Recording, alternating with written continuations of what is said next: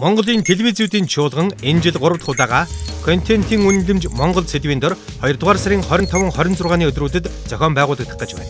Чуулганаар Монгол телевизийн контент ба үндэс нь үзэгчдийн хандлага болон бусад сонирхолтой сэдвүүдээр илтгэл хэлэлцүүлэг өрнө. Чуулганы үеэр гадаад дотоодын контент форматын үзэсгэлэн худалдаа зохион байгуулагдана.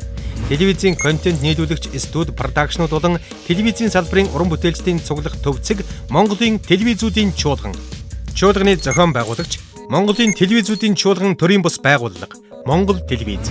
Чуулганы ивент тэтгэгч Bloomsbury, харилцаа холбооны зохицуулах хороо Skytel компани, Boom Bridge, хамтран зохион байгуулагч Америкийн худалдааны танхим мэдээллийн технологи шуудан харилцаа холбооны газар.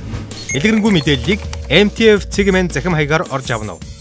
Телевизийн салбарын уран бүтээлчдийн цуглах төвцөг Монголын телевизүүдийн чуулган контентын үнэлэмж Монголд. 2 дугаар сарын 25 26-ны өдрүүд Улаанбаатар хот